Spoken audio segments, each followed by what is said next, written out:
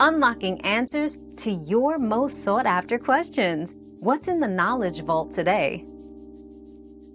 To reverse image search, simply navigate to a search engine that offers this feature, such as Google.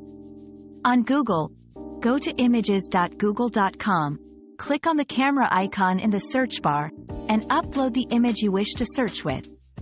Alternatively, you can drag and drop the image into the search bar.